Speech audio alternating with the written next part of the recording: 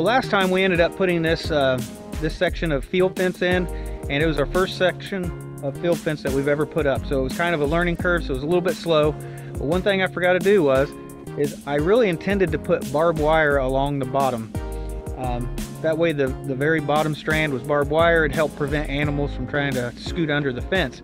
I knew that on the top of the fence that I either wanted to put electric or barbed wire and I haven't decided yet and I can decide that later. But I definitely want to put a barbed wire along the bottom. So I've got two more fence pulls to do to make the barnyard. So before we do those two fence pulls, I want to go ahead and I want to stretch some barbed wire fence along the ground here in between each one of these poles and, and get that on the fence. And then we'll come back, we'll come back to this side over here and see if we can get some barbed wire along the bottom on that side. But I guarantee now that that fence is up, this is gonna be way harder. The one other thing you guys had mentioned was my T-post spacing. I was going off of uh, some kind of a fencing manual and it suggested every 25 feet for high tensile field fence. Uh, you guys told me if I'm messing with goats, you know, they're gonna like to rub against the fence. You really need to do a 10 foot spacing. So that's what we're gonna try to do today. If I can get the barbed wire in along the ground, that'll make a nice, nice straight line along the fence line.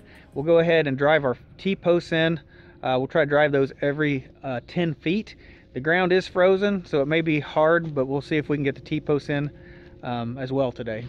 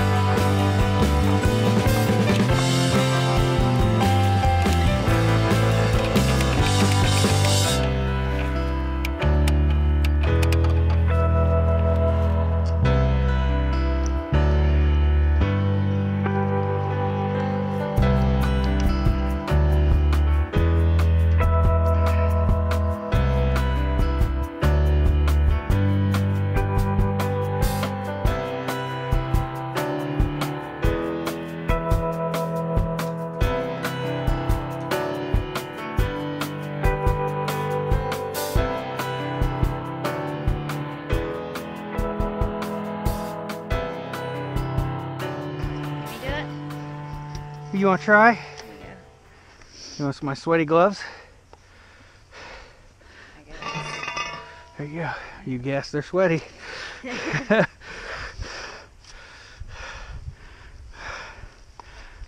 Ready?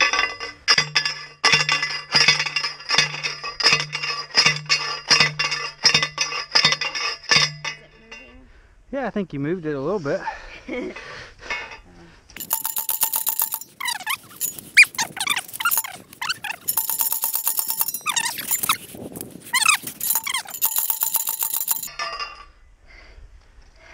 yeah, where you at, huh?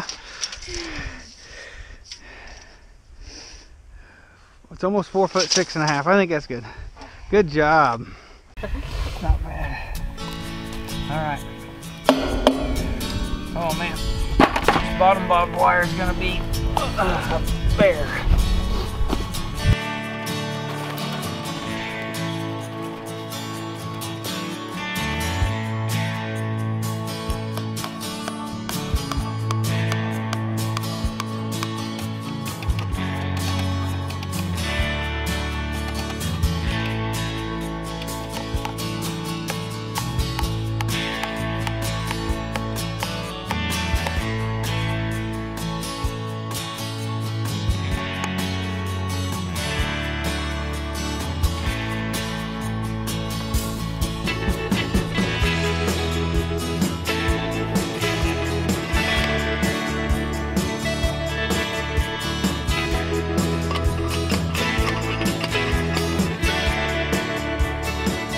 we got all the barbed wire on the three sections of fence that we wanted to. We got the last one we did was this fence that we already had uh, put up, and that fencing um, did make it a lot harder to put that barbed wire on. So we had to do that one just a little bit different. We put the tension uh, past the end post and tensioned it up. And then once we got it good and tensioned, we just we just ended up driving two staples in that end post and we just pounded them down to hold that fence in place so it wouldn't slip.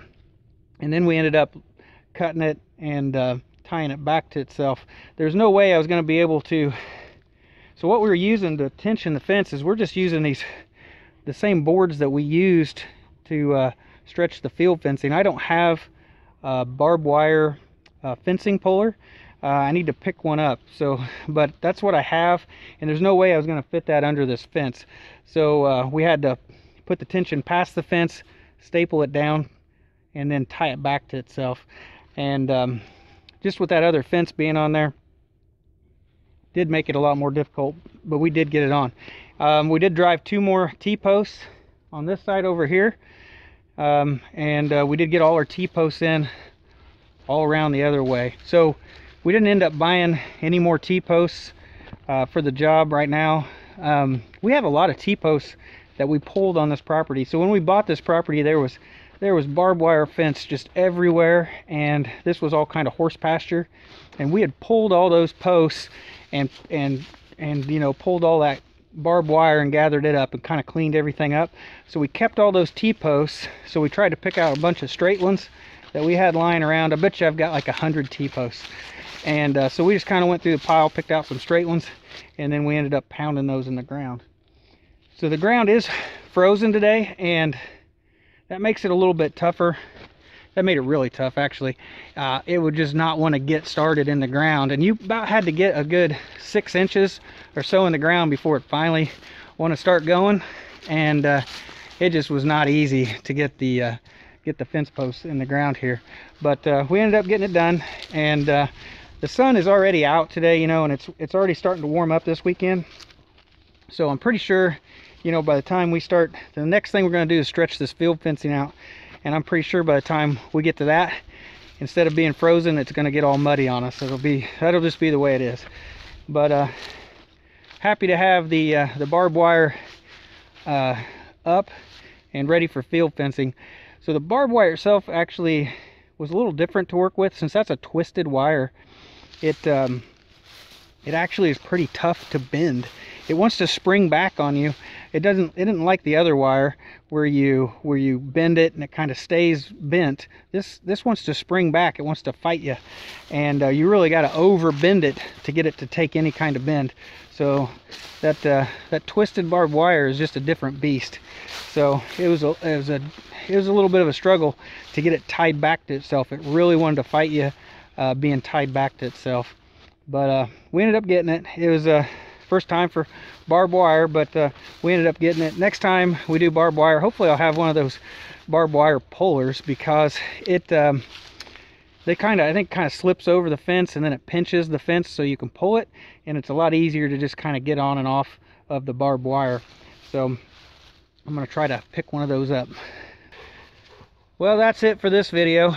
We were able to get this bottom barbed wire on so now we're ready to start stretching some field fencing my wife she's like super gung-ho she's ready to get some some goats she's ready to get some animals so she's she's out here this weekend. She's off all weekend. She's out here helping me. So we're just going to keep pushing forward with this. We're going to try to get the, the barnyard finished. Then we're going to move on, try to work on the stalls because by the end of February, she's wanting to get some animals. So we got to get moving on this project. Thanks guys for watching. See you in the next video.